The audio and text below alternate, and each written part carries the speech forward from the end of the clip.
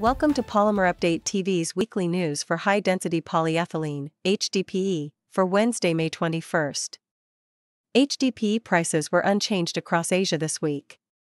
Improved geopolitical sentiment and falling oil prices, along with reduced US China tariffs, have shifted global shipping routes toward trans Pacific demand.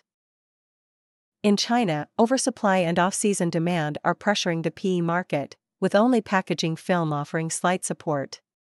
Trading remains limited amid stable currency rates and cautious sentiment.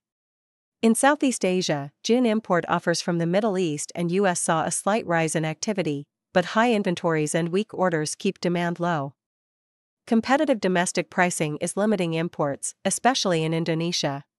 In India, HDPE prices stayed flat despite tighter supply from plant closures. GCC competition drove LLDPE and LDPE price cuts. Buyers remain cautious, focusing on immediate needs. Thank you for watching.